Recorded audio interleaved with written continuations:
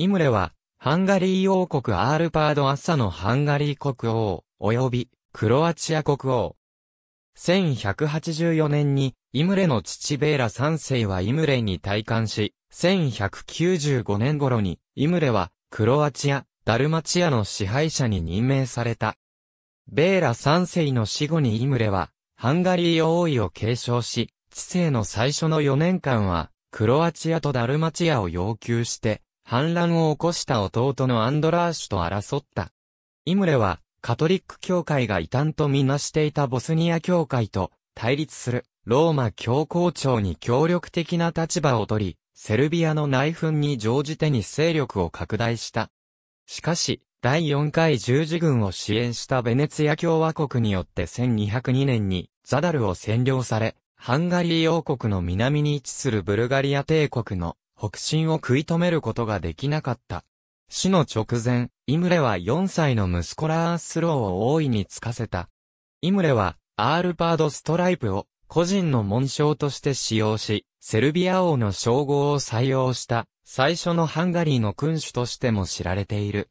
イムレが使用したアールパードストライプは最終的にハンガリーの国章の一部になる。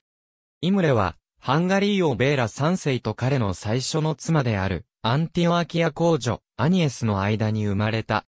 イタリア出身の司教ベルナルドから教育を受け、1182年5月16日に8歳になったイムレは、ハンガリーの王位継承権を確認するため、エステルゴム大司教ニコラスから退官された。神聖ローマ皇帝フリードリヒ一世の娘との婚約が取り決められたが、1184年にフリードリヒ一世の娘は亡くなり、縁談は立ち消えになった。1195年頃、ベーラ三世はイムレを、クロアチア、ダルマチアの統治者に任命した。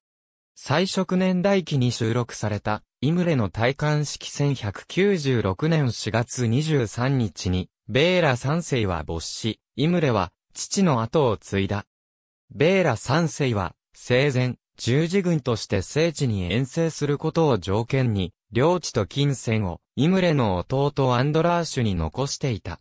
しかし、アンドラーシュは、独立した広告の相続を要求して、1197年に、イムレに対して、反乱を起こす。オーストリア公、レオポルト6世はアンドラーシュに組みして、ハンガリーの内戦に介入したが、1197年末に、イムレは、スラボニアの牧でアンドラーシュとレオポルト6世の連合軍を破る。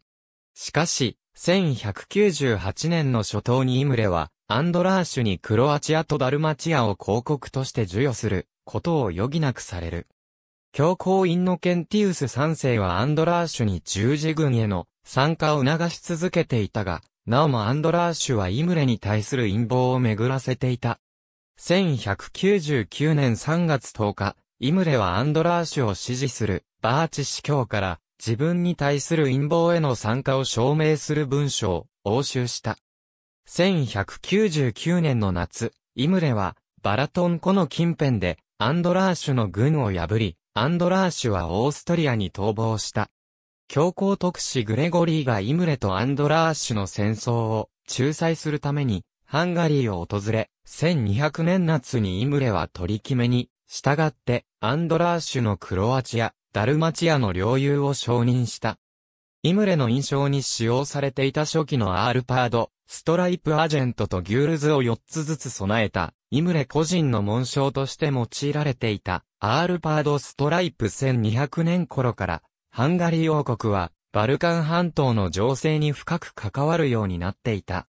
1200年10月11日に、インノケンティウス3世はイムレに異端とみなしていた、ボスニア教会の弾圧を促しており、教皇は、イムレの要請に応じて、セルビア王ステファン・ネマニッチへの戴冠を拒否した。1201年、2年にイムレはセルビアに侵攻し、ステファンと対立する彼の弟の部下シーンを支援した。イムレはセルビアに総主権を行使し、1202年にハンガリーの君主として初めてセルビア王の称号を使用する。1202年夏、ベネツィア共和国の同ジェンリコ・ダンドロは第4回十字軍の指導者との間に交わした条約に調印し、ベネツィアは十字軍からハンガリーの勢力下に置かれていたダルマチア地方の都市ザダル奪回の支援の約束を取り付ける。インノケンティウス3世が十字軍にザダルの包囲を禁じたのにもかかわらず、1202年11月24日にザダルは十字軍によって占領され、町はベネツィアに譲渡される。インノケンティウス3世は、イムレの訴えに応じて、ベネツィアと十字軍を破門するが、ザダルはなおも、ベネツィアの支配下に置かれていた。ハンガリーが、ボスニア教会への弾圧を行う中、1203年4月6日に、ボスニアのバンクリンは、ゼニツァで、ボスニア教会の教会会議を開催する。合議の結果ボスニア教会は、ローマ教皇の優位を認めるとともに、教会の儀式の改革を決定し、クリンは、ハンガリー王国の総主権を承認した。1203年に、ブルガリア皇帝、カロヤンアセンが、インノケンティウス3世に宛てた書簡には、イムレによって、ブルガリアの5つの地域が占領されたため、ブルガリアが、教皇に介入を要求したことが記されている。1203年の秋にアンドラーシュはイムレに対して、再び反乱を起こし、10月に、両者の軍隊は、ドラーバ川近くのバラジュディンで対峙した。イムレは、武装を解いて、アンドラーシュの陣営に向かい、Now, I shall see who will dare to raise, A hand to shed the blood of the royal lineage と呼びかけたことが、同時代のスプリトの大女祭トマスによって伝えられている。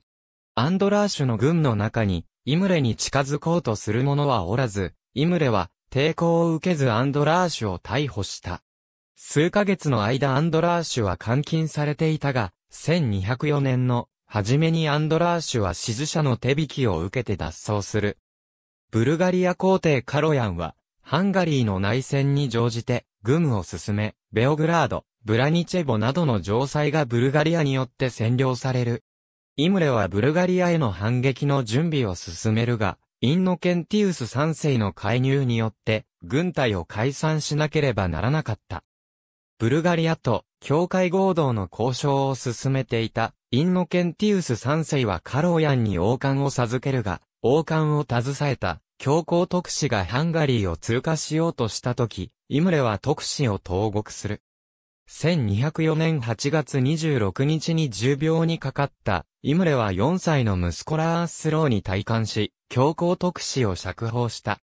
スプリトの大女祭、トマスの記録によれば、ラースローが青年に達するまでの間、彼の後見人となり、ハンガリー王国全土の統治を委任することを条件に、イムレはアンドラーシュと和解した。最初年代記には1204年11月30日に、イムレが没したことが記されており、イムレの遺体は、エゲルの大聖堂に埋葬された。1196年から1200年の間、イムレは、アラゴン王アルフォンソ2世の娘コンスタンツィアと結婚した。1200年頃に二人の唯一の子である、ラースローが生まれるが、1205年5月7日に、ラースローは溶接する。夫と息子を失ったコンスタンツィアは、後に神聖ローマ皇帝フリードリヒ2世と再婚した。ありがとうございます。